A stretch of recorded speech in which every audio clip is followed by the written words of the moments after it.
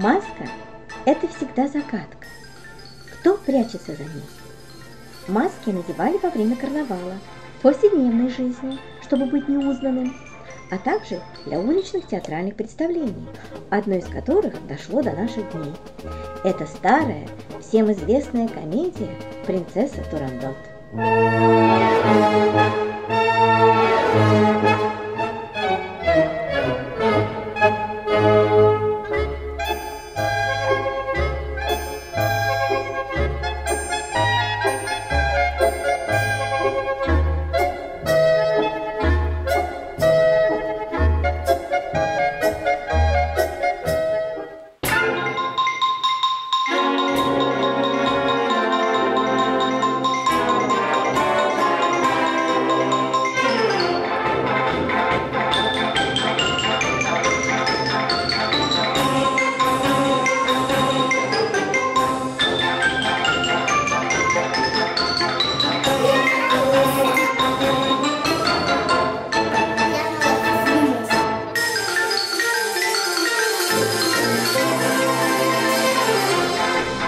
Давайте наденем маски и почувствуем веселую атмосферу венецианского карнавала.